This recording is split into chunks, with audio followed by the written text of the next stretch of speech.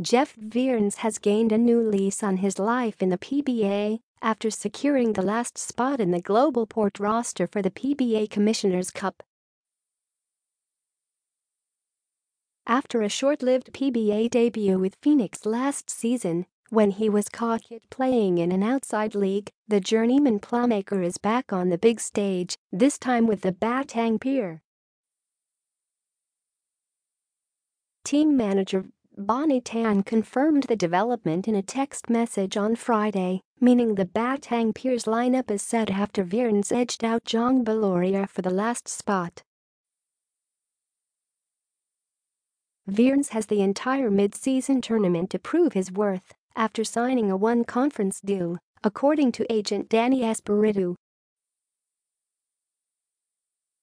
Viernes has been tearing it up in the Thai League and PBA D-League, leading the charge of Che'lu San Sebastian in their unlikely run to the finals against Zarks Burger, prompting the Batang Pier to take a look